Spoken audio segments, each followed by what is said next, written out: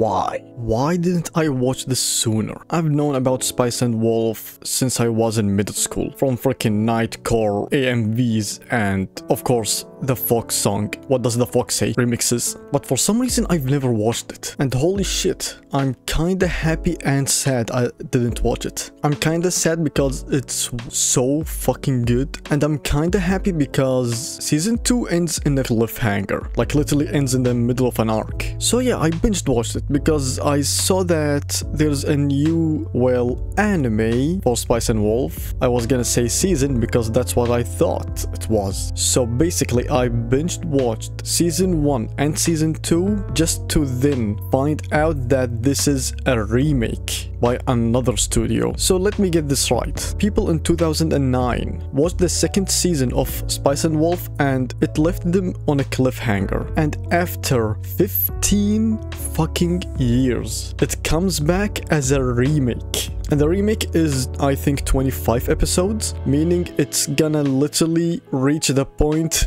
of season 2, like the original one. I, I am so confused on the decision making, but, but I'm guessing they made this while keeping in mind that they will make season 2. Also, I heard a lot about how season 1 wasn't completely like the source material. There are some original stuff, like there's a whole character that gets replaced by, I think, her name was Chloe. And yeah, the art style, of course, is very different. The new remake... Uh, Look, I like the previous one and I like the newer one. It's just that the older one has a better art for the vibe they're going for. This right here, it's more radioactive than I wanted, but it's not bad. I mean, just come with me for a second and let me show you some of the some some of the animes the studio has made. Yeah, this studio is not any random studio. Yes, it made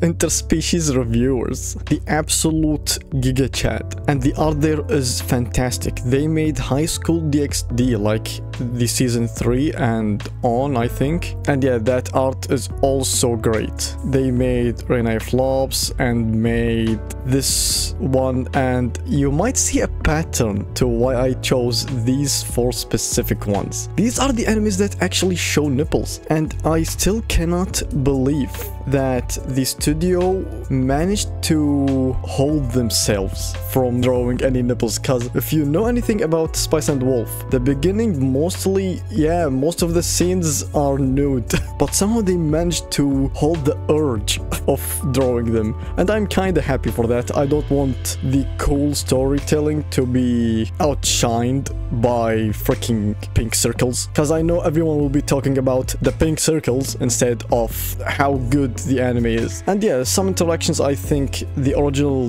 did a bit better, but it's not bad. It's not bad at all. And if they can continue on with this, I think it's gonna be great, especially for people who watched the original when it came out. It has been 15 years, come on. I just binge watched this like three days ago. So yeah, I kinda understand the remake. Also, the remake is more like faithful to the source material, so yeah. I just hope they don't stop here. They need to make season 2. Like, they cannot stop at the same cliffhanger, because season 1 was like 13 episodes and season 2 12. So combining them, that's 25 episodes. Exactly the same length as the remake. So yeah, I guess I'll watch this when more episodes come out and maybe like a whole arc ends. So yeah, that's about it.